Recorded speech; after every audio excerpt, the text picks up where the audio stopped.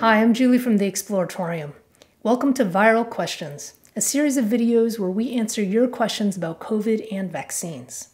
Today's question is What is an mRNA vaccine?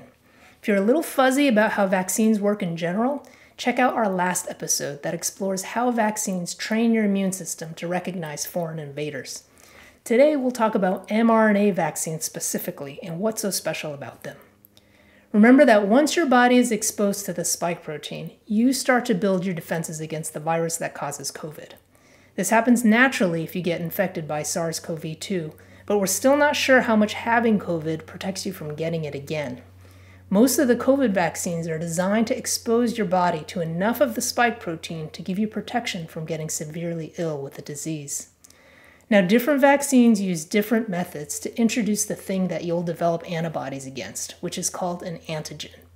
In this case, the antigen is the spike protein, and vaccines give your cells a preview of what it looks like so that your immune system is ready in case it sees the full virus.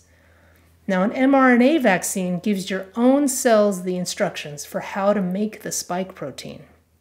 Our genetic information is stored in DNA, but the genetic information for coronaviruses is stored in a single strand of RNA that sits inside the virus. Only a small part of this strand is needed to tell your cells how to make a spike protein. We have RNA in our bodies as well, they're how we make proteins. Information gets transferred from our DNA into messenger RNA, or mRNA, and those are the instructions our cells use to make proteins. Inside an average cell, there are hundreds of thousands of mRNA pieces just waiting to be used to make proteins.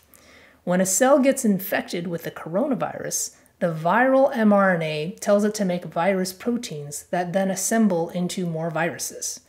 Now, in a vaccine, we don't want the whole virus to be made, just the spike protein. So, an mRNA vaccine takes only that part of the viral genome, wraps it in a lipid bubble, and introduces that into your cells.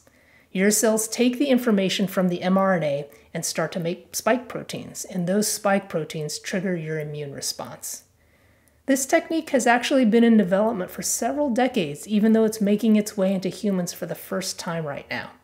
mRNA is super delicate, so it's been hard to make the lipid package to contain it. And then those packages also need to be stored at very cold temperatures to prevent them from degrading. In the past, vaccines may have used weakened forms of the virus or introduced the antigen as a purified protein. Using mRNA eliminates a lot of the stuff you don't need, and your body will degrade it after it triggers the production of a few spike proteins. It's also much easier and faster to customize, which is how these vaccines were created in record time. This will help scientists address changes that evolve in the virus as well as tackle other challenges in other areas of medicine.